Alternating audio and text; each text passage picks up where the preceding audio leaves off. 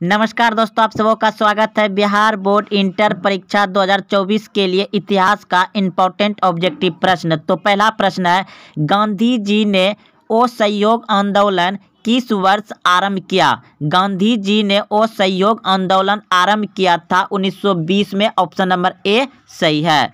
बिहार में चंपारण सत्याग्रह कब शुरू हुआ?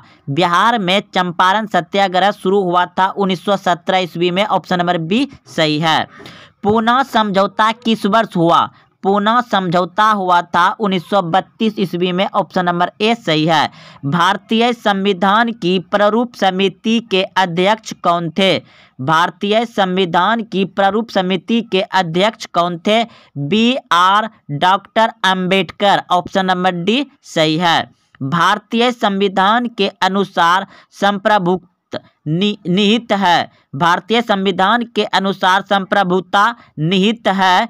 ऑप्शन नंबर डी, बिल्कुल सही है, संविधान में। स्वतंत्र भारत के पहले गवर्नर जनरल कौन थे?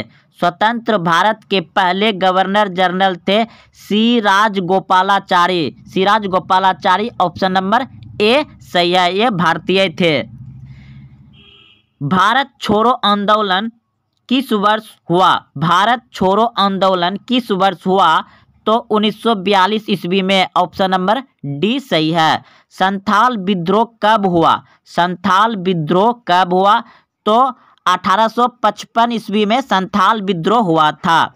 ईस्ट इंडिया कंपनी की स्थापना कब हुई? ईस्ट इंडिया कंपनी की स्थापना हुई थी 1600 एडी में। ऑप्शन नंबर ए सही है। बिहार में चंपारण सत्याग्रह कब शुरू हुआ था 1917 ईस्वी में ऑप्शन नंबर बी सही है। भारतीय राष्ट्रीय कांग्रेस की स्थापना कब हुई? यह प्रश्न को उत्तर आप सभी जानते हैं। अठारह ईस्वी में ऑप्शन नंबर बी सही है।